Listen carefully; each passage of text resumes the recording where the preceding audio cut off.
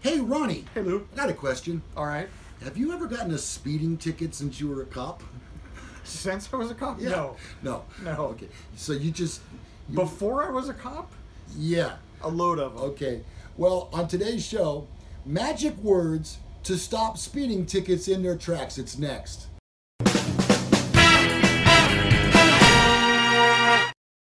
Hi there, I'm Lou Gallagher. I'm Corvette Ronnie. Welcome to another episode of Men Are So Smart, and we are givers.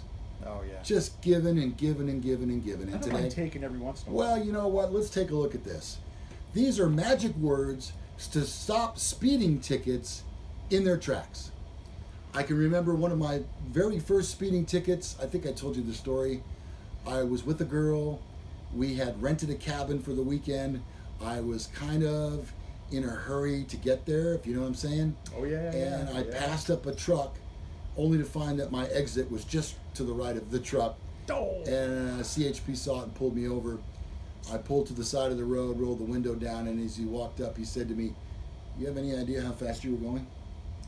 And I said, uh, "No, officer. The way I see it, that's your job." That's a good way not to get a ticket. I got a ticket. Can you mm. believe it? yeah, that's a good Wow. way to get a ticket. Well, here's what to do when you get pulled over. First, wave hello. Let, let's back up the car just a little bit. So let's say you were driving down the road a little faster than you should have been, and you spot a police cruiser lurking behind some shrubbery.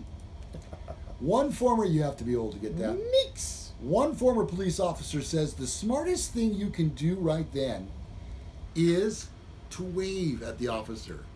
Why? He will either think that you guys know one another and wave back, or he'll think that you're acknowledging that you were driving too fast and are letting him know that you're slowing down. Either way, you drastically reduce your chance of getting a ticket when you first wave hello. What do you speak out on that, Officer Ron? Uh, you know what? It will set you back just a little bit. It'll make you think, and maybe you'll walk up to the car with a slightly different attitude. I mean, it can't hurt. Uh, uh, obviously, if you stick both hands out the window and wave, they're gonna like that even better. Yeah, because you have no gun. Yeah. hmm So that can't hurt either. But I'm not sure that's 100% foolproof. Um, it's better than nothing, though. All right, so All you, uh, as the police officer of our duo, uh, I'm just, I'm Batman. right. You're, you're commissioner. No, you're police chief Gordon. Gordon. Yes. All right, what's number two? Okay, next up, don't say I'm sorry I was speeding. Oh, that reminds me of something. Okay. Yeah, I, from having been on both sides of this, yeah, never admit that you were speeding. Mhm. Uh, if you did get pulled over, never acknowledge you were in fact speeding. You don't want to give the police any ammunition to use against you should you contest your ticket in traffic court. When the officer tells you that you're speeding, give a brief, non committal response like, I see, or I thought I was going with the flow of traffic. Uh, that's probably the best way to go. Uh, what's the problem, officer, is not going to help your cause. I think that's your job, isn't it, officer? Yeah, now not here's- going to help. Here's the other thing Yeah. is that I would venture to guess that 100% of police agencies now, even the smallest, most podunk county and city, they all have, if not body cams, they have a video or an audio recording device Microphone. a microphone. They're wearing a microphone, and so when they talk to you, if you say, "Do you have any idea how fast you were going?" and you say, "Yeah, I'm pretty sure I was going about 10 miles an hour over the speed limit," uh, when you go to court, guess what they're going to play? Yeah. They're going to play that audio recording. Pretty convincing. And so again, um, yeah, I, I would never admit to speeding. Just, hey, if you get a ticket, suck it up. Uh, if you don't agree with it, you don't fight it on the side of the road. You fight. You take it to court.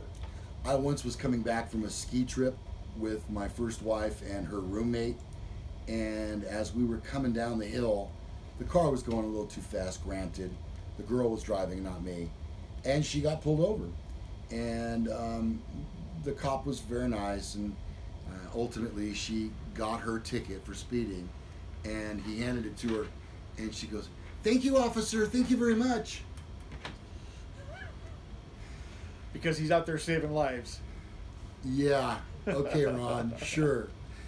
Next up, how's your day going? Ask that question. According to one officer, treating a police officer like a human is a good way to get him or her to treat you the same way.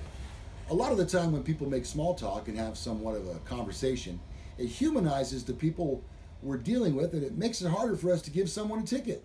Secret sources who have dodged more than one speeding ticket in their lives also advise that you just get through the meeting with the police as quickly and politely as you possibly can. You don't want them to remember anything about you except that you were nice Yep. and did what you were asked or told. Yep. Uh, and I'll tell you this: that whenever we write a ticket, we put little notes on the back of the ticket in case it does go to court to remind us of this Oh. encounter. So if somebody does say that, I might even write that on the notes where they asked, "Hey, how's it going today?" Uh, just so that then when we get to court, click, and I remember it a little bit more vividly.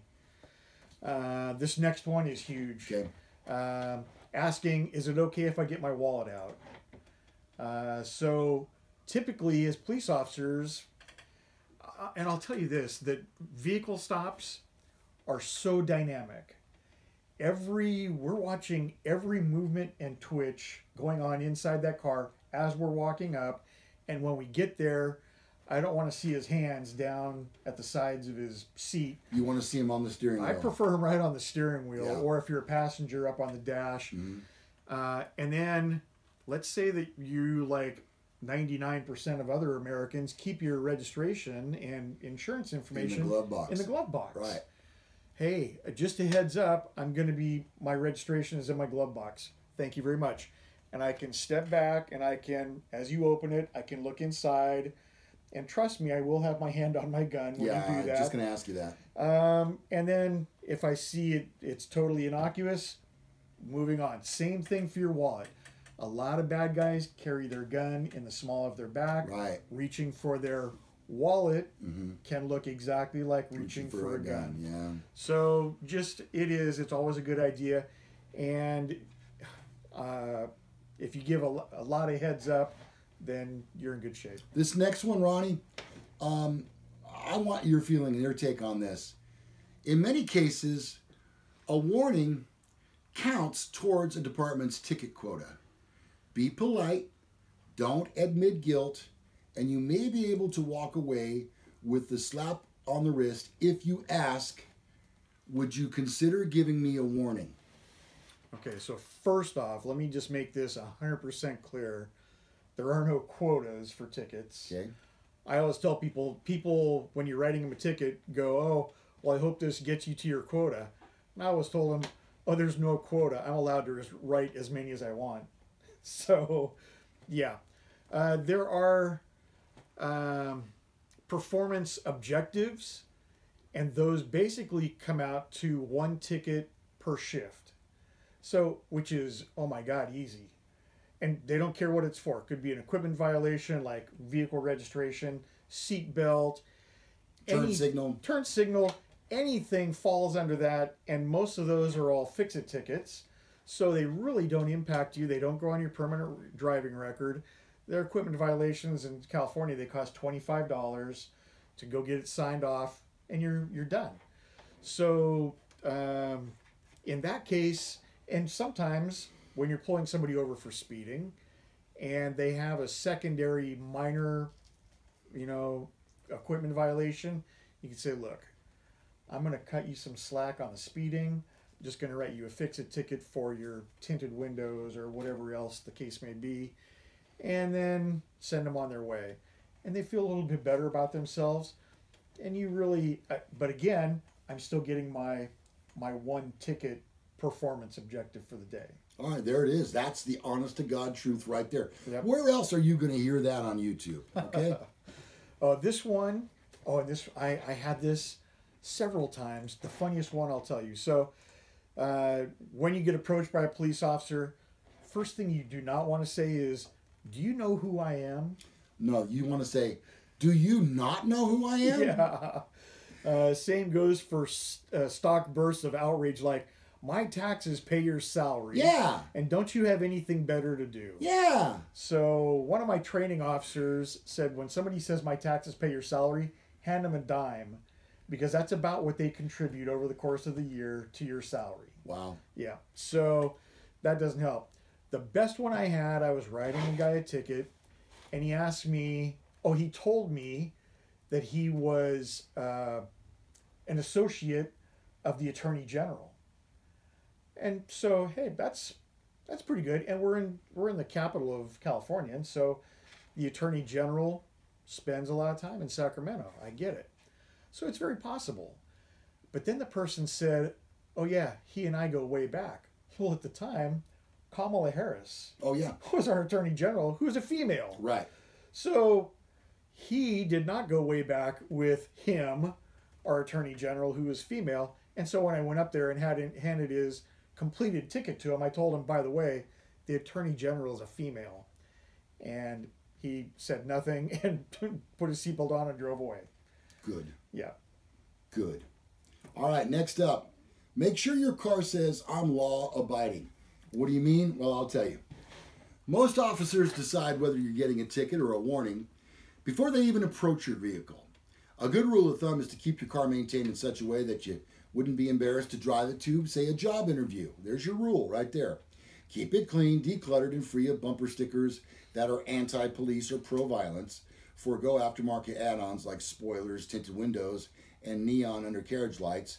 You want to say, I'm responsible and law abiding, not I hate the popo, I speed all the time, and I'm trying to hide something from you. Yeah. And you can tell right away when you look inside a car and it looks like they're living in there. That is a person that, yeah, is probably going to get a ticket. Uh, they're just, I don't know, and and not only get a ticket, but you're going to run them, make sure they don't have any warrants, and if they're on probation, you're going to pull them out of the car and you're going to search their car. So a lot of a lot of bad things can happen from having a messy car. Yeah. Yeah. Uh, this next one, I I like because it's kind of true. Uh, it says I'd like a continuance, Your Honor. So the more time here it says the more time you put between your speeding encounter and your court date, the better. Advise some ticket dodgers. Imagine how many people an officer pulls over in a month. How many of them do you think he'll remember six months from now? Yeah. Especially if you take your ticket quietly and move on. The more continuances you can reasonably request, the more time you have to collect your evidence, prepare your defense, and the less specific that officer's recollection of you will be. Getting a continuance also increases the probability that the ticketing officer retires, transfers to another department, or just doesn't show up for your court date. So, Retires, really? I, uh, how long was your continuance? Yeah. Uh, 32 years. wow. So, I will tell you this. I'll, I'll give you a tidbit that if you were to get your ticket, say in April, Mm-hmm. if you can push off your court date until somewhere in the summertime, when the officer's kids might be out of school Mm-hmm. Vacation. and they're on vacation, you stand a little bit better chance of them not showing up for court. Um, honestly, whenever I got a summons to court for a ticket that I wrote, it's like hitting the lottery because it's four hours of overtime. Oh, wow. So when I get those summons, I'm going to court. Unless I'm on vacation, if I'm in California, I'm going to my damn court date. Yeah. So And it's overtime. it's overtime. Wow. Yeah, because it would be if it's on my day off, or if it's before or after my shift. Gotcha. So yeah, All right, so we're talking today about ways to avoid getting a speeding ticket. And the final one is for those of you who have GPS navigation systems in your car, here's an added bonus. You can download, download additional points of interest, POI, software onto your gizmo, you know, on the internets, uh, that will tell you when you're approaching stoplights that are hooked up to traffic cameras. Yep. You'll find the links to the software on the GPS manufacturer's homepage. Uh, check those out. Uh, I use Waze, W A Z E. Waze tells you of police activity in front of you, as well as uh, red light cameras oh, coming up. So I'm not involved with Waze and by any stretch of the imagination, except that I use it, and it does give you that information. So well, Ronnie, I really appreciate your input on this particular topic. Um, most of us are fearful of getting a speeding ticket for sure. They can be really expensive, God knows. Uh, affects your. My daughter has a couple of them. Uh-huh. She takes a little bit after the old man, and she has a couple speeding tickets. And since I was paying her insurance up until she Two got married, ago. yeah, uh, it affected me. Her Yeah. her insurance was expensive. I bet. Now I don't care. Yeah. So Not your problem. yep.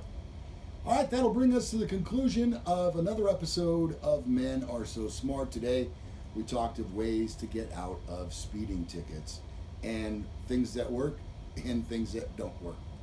Uh, if you'd like any more information or to contact us, you will find the information below. We do so appreciate you watching the show and Yep. would really love it if you would subscribe. Uh, it would be great for us. We, we need those. And, Hey, if you have a great way of getting out of a ticket, put it in the comments. Yeah, we get Yeah. back to you almost immediately yeah. when you comment. We'll mention below. it. Maybe mention it in the next show. You got it. All right, I'm Lou Gallagher, I'm Corvette Ronnie. and we will see you on the next Men Are So Smart. Bye bye.